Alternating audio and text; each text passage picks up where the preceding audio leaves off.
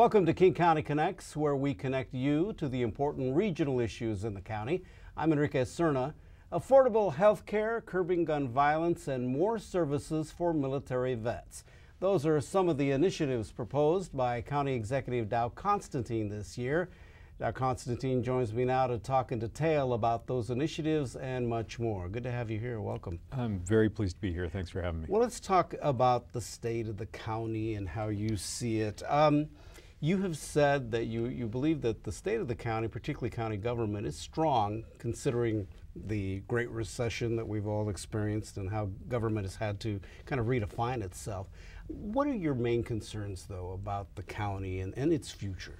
Well, the, uh, the county government is strong. Uh, we have put the county back on sound financial footing. I, the county council, all of our valued employees over the course of the last several years. And we've done it uh, by finding ways to innovate so that we're not simply choosing between increased revenues or decreased services, but that we're finding new 21st century ways to deliver for the people.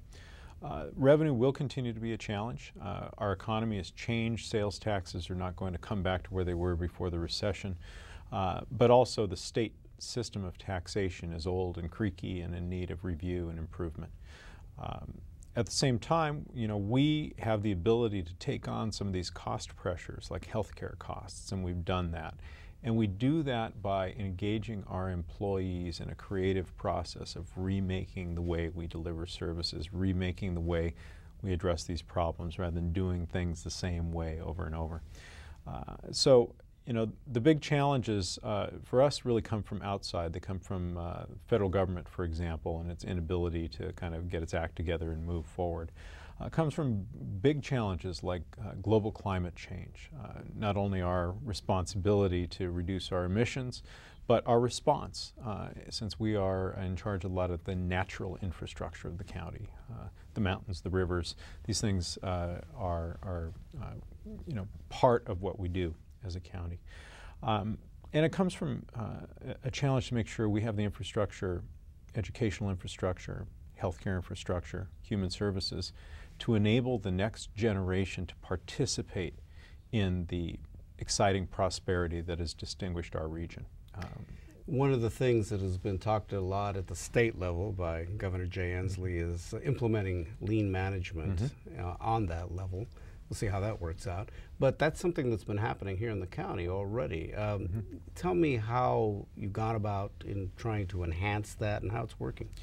Uh, so, uh, just by way of shorthand, lean, lean management is a way that you engage everyone in the workplace in identifying how to save time and money in delivering services and how to do that on a continuous basis because the circumstances in which we operate continually change. Uh, we, uh, first of all, I, I, had Fred Jarrett come on as my deputy executive. Fred, 30 years at Boeing, as well as a lot of time in, in the public sector uh, is really grounded in the lean principles. And so he's leading the charge to uh, educate our employees on lean, to give them the authority they need, the license they need in order to be able to improve the way they deliver services. And it's working. Uh, in our Department of Licensing, for example, employees got together, mapped out how a license is delivered, and then remade that process to do it faster, less expensively, and with greater satisfaction to the customer.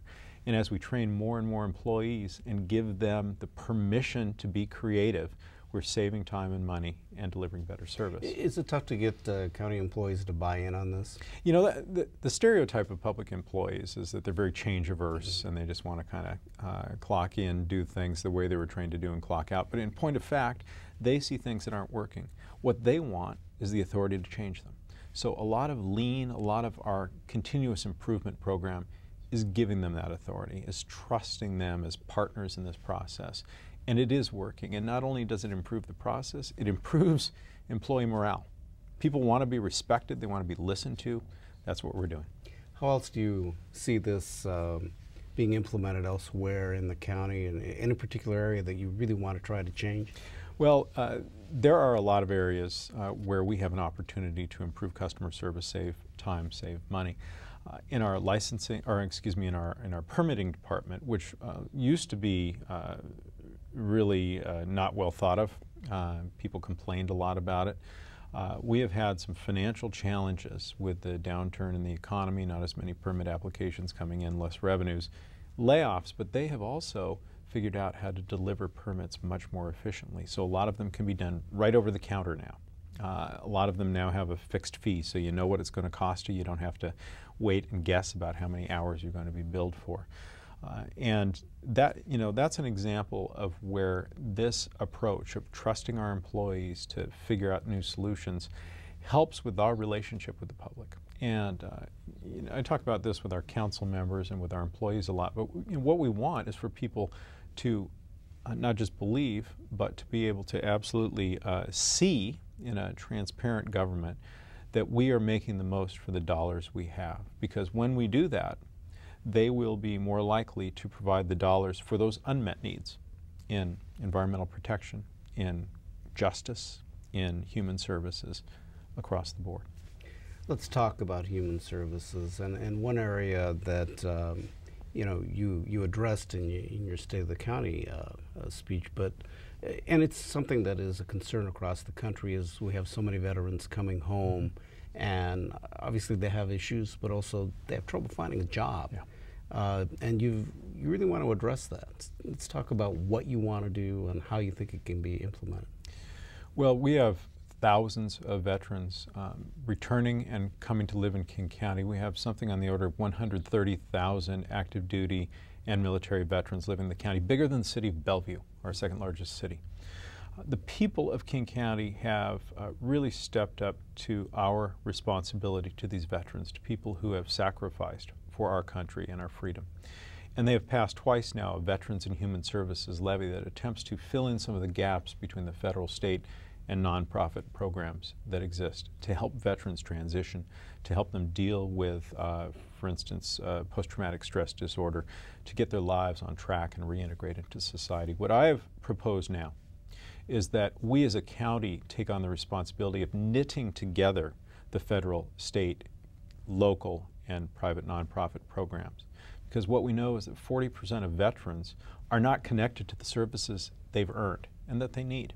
So uh, I've recruited uh, three leaders, uh, retired General Pete Chiarelli, uh, retired Colonel Grethe Cammermeyer, who's an Army nurse, mm -hmm. And, and a young veteran, Leo Flor, former, former Army inf infantry officer from the recent wars, who's now a law student, to lead a group that's going to help us uh, really identify the best strategies, not for layering on more programs, but for making the programs we have work for veterans so that there's no wrong door. When a vet comes in, he or she has gotten to the, the exact kind of help that they have earned and that they need. What kind of change do you hope? Are you hoping that you might be able to set up some type of model here that could be used by the, the rest of the either other counties, uh, yeah. other cities, rest of the country. Well, absolutely. You know, one of the advantages of uh, living in and leading a county like King County is that uh, our region is a thought leader in a lot of different areas, public and private. I mean, this is the home of, of Boeing and Microsoft and Amazon and Costco. This is a place that is, is a, a, hotbed of new ideas and intellectual energy. And, and that comes into the government too. So what we find is that when we have new ideas here, we have a constituency that supports implementing them, and we're able then to share those with the rest of the country, as we are also willing to learn from the rest of the country. This idea of uh, better organizing the existing resources is not limited to the area of veterans. We've been uh, looking at this same client-focused approach in homelessness, for example. You don't just get the service that happens to exist at the agency you walk into. You get the right service for you, and we take responsibility for coordinating that. That's the new approach across all of these areas of service. Well, when we talk about service as well, we talk about healthcare, which is always the uh, probably the biggest area of concern for many uh, governments mm. and governmental entities because of the cost of health care and other things. Uh, this is another initiative that you want to focus on as far as uh, trying to get more help for those that may be falling through the cracks. That's right. Uh, with the advent of federal health care reform, uh, we have a real opportunity here. There are something like 180,000 uninsured people in King County. Folks who, uh, when they get sick, maybe show up in the emergency room, uh, and by that time they require very expensive treatment. That's treatment that you and I and all the rest of us end up paying for. So we have an opportunity to enroll folks in this newly expanded health care coverage, whether it's through Medicaid expansion or employer-provided health care or uh, the state health care exchange. And we're taking the responsibility to reach out to those folks. Uh, what we're doing is, first of all, having every county uh, department and division that interacts with the public to get equipped to also talk with them about whether they have health care coverage and then get them to our uh, experts who are uh, centered around our public health department to get signed up for health care. Uh, we've also, I, am creating a leadership circle of partners in the community. So Tom Gibbon from Swedish Hospital. Uh, we've got Maud Daudon from the um, Seattle Metropolitan Chamber of Commerce. We have Gordon McHenry from the nonprofit uh, um, Solid Ground and then they're going to reach out to others who also have networks in the community so that we can reach across a population of 2 million people, find those folks who are now going to be eligible for insurance, get them plugged into the, the right way to sign up, and dramatically increase the, the level of, of, uh, of folks who are insured so that we're really creating a culture of coverage in King County. Do you think people are still uh, confused about the whole health care mandate and how it's going to work? Well, sure, and there's no reason for them not to be confused. Uh, healthcare is complicated now. Uh, healthcare reform is also complicated. One thing we have here uh, are experts in King County. We have excellent, excellent staff. And we have folks in this public health department and throughout our county who can help untangle some of this, make it accessible to the people it's supposed to help, uh, and ultimately uh, improve the quality of life across this county, and that's fundamentally why the people created this government in the first place. How many people do you think you could reach? well, you hoping our reach? goal is to reach 180,000 folks uh, who are uninsured. Uh, clearly, it's a moving target. Uh, folks uh, sometimes have various reasons for not being plugged into the system, uh, but you know, if we can get people into coverage where they're dealing with preventative, inexpensive preventative care early, rather than very expensive medical procedures later. It's going to save the whole society money. This is the approach we've taken with our employees inside King County and how we saved over $40 million in just a few years on employee health care costs because we're now focusing on wellness and prevention rather than treating folks once they become sick. Well, it's uh, healthcare related, unfortunately, and social service and human services related, but we have a gun problem. Yeah. And uh, we know in the aftermath of what happened in Newtown, that uh, this is an issue that uh, kind of rocked the nation. Uh, we still can't seem to find an answer. How do you want to address that in this coming year? Well, as has been reported many times, local governments in the state and country don't have a lot of authority directly over the regulation of firearms. We certainly do not in this state. The field's been occupied by the state government and the federal government. But what we do have is one of the nation's finest public health departments. Um, and, you know, just as guns are a public safety problem, they're also a public health problem. This is a public health crisis.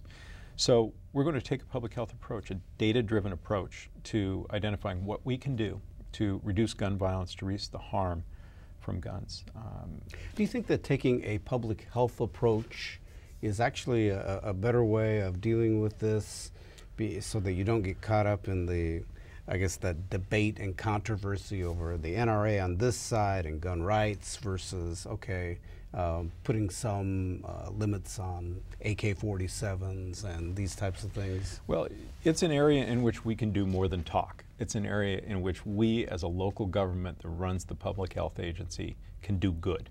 And so, whether it's better or not, uh, it's better because we have some authority here. So, we're going to collect data on uh, very simple questions for which a lot of data does not exist, like who's being harmed by guns. And uh, we're going, in particular, to institute a quarterly youth shooting review, which is similar to our quarterly uh, child death review. And it will show us the patterns, the circumstances, or where kids are uh, getting a hold of guns, using guns, being harmed by guns, so that we can identify places where, through education or other means, we can start to reduce that harm.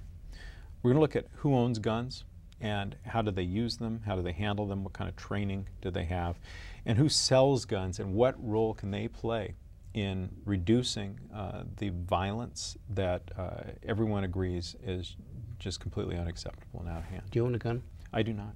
I do not. Ever had any desire to own one? I've never had a desire to own a gun. I respect people's right uh, to own a firearm, but I, like most Americans, and in fact, like most members of the National Rifle Association, believe that uh, folks who are not mentally competent should not be able to own a gun. And uh, I also believe that uh, the kinds of weapons that are now being sold, basically modified weapons of war that have been used in some of these mass shootings, are not necessary for civilians to own. In taking this type of approach and with whatever you're able to find in, in studying it from a public health uh, type of approach, um, how do you see that then maybe leading to some type of change in either in, in, in the legislature or elsewhere? Well, you know, we've found that it's uh, possible to modify behavior through this public health approach. It's happened with seatbelts, it happened with cigarettes. You know, just by putting the warning on the label of cigarettes, which is a public health issue, you started to dramatically affect people's behavior. Uh, it uh, is a way in which we can start to change the thinking uh, increase the consciousness about the harm that guns are causing in our society because as, as dramatic as some of these incidents are, most of the gun injuries and the gun deaths are uh, going almost unnoticed by folks. And it's because people become numb to it because they think it's inevitable. Uh, we believe that it's not inevitable uh, and that there are ways within our, um, within our grasp to start to reduce that harm, to get people's uh, behaviors modified so that there is uh, less opportunity for guns to be stolen, less opportunities for guns to get in the hands of kids, uh, less opportunities for, for uh, people to get a hold of guns when, when uh, if they were in a, in a state to be a little more thoughtful about it, they wouldn't go out and do something wrong. Well, let's change gears here and talk about some of the other things in the county that uh, will become uh, an election item this year, and mm -hmm. that is a parks levy. And um, what's what are you proposing there, and how do you, how do you think it'll be different from what we've had in the past? So, King County's parks are uh, funded in large part by a six-year levy. Uh, it was passed originally 12 years ago and again six years ago, and it's up for renewal again this year. And I'm sending the county council uh, a proposal to do just that. We convened a, a, large group of business and community leaders to consider what should this levy renewal look like. And the proposal I'm sending is uh, almost identical to their set of recommendations. They're focusing on maintenance and upkeep they're focusing on linking together the parks and trails that we do have to, to get more use out of them. They're focusing on greater access to some of our major parks through uh, improved trailheads, parking, and so forth. Uh, they're focusing on some big opportunities that have come to us in this uh, recent uh, time, like the acquisition of the Burlington Northern line all the way down the east side, which can become a um, trail as well as potential rail corridor. Uh, they're focusing on a cross uh, county from, from the lake to the sound, a south uh, county trail uh, that serves some really underserved communities. So um, the, the parks levy is uh, something that provides funding to local jurisdictions to, to maintain and keep up their parks as well. during the course of this last levy, we've lost a lot of other revenue that used to go into parks. The real estate excise tax has just crashed with the real estate market and it's going to be a long time before it gets back to where it was. And also, uh, you know, as our general fund has become more constrained, all general fund monies for the parks function have gone away. In 2011, the, the last of them were removed. So the park system, which is a growing system, where we acquire more open space, more trails to serve a growing population, is actually really challenged for funds. And this is an opportunity to make sure that we maintain that legacy that was created by our parents and grandparents and is so much a part of the quality of life here in King County. You brought up earlier, uh, you touched on climate change and um, uh, you know, the whole issue of environment here. We have the sound that, uh, you know, there's a lot of concern about the health of Puget Sound. One of the biggest uh, issues now that is generating a lot of discussion uh, throughout the state and here is the coal trains. Yeah.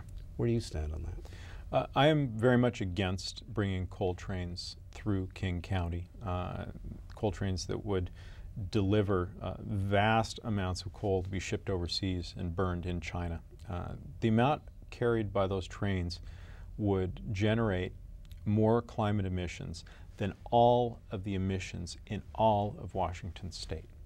So all of our efforts to reduce our climate impact, to improve energy efficiency, to uh, uh, try to reduce our impact on the global environment would all be undone just by this, this one uh, act of bringing coal trains and, and shipping the coal to China.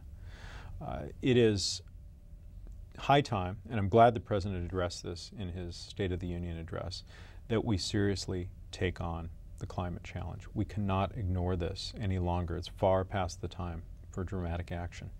And uh, this is just one local example of choices that are before us that will impact the future for uh, many generations to come. Of course, part of that debate is jobs, and those that say that uh, if we decide not to go with these coal trains and you know that uh, terminal, that we're losing jobs.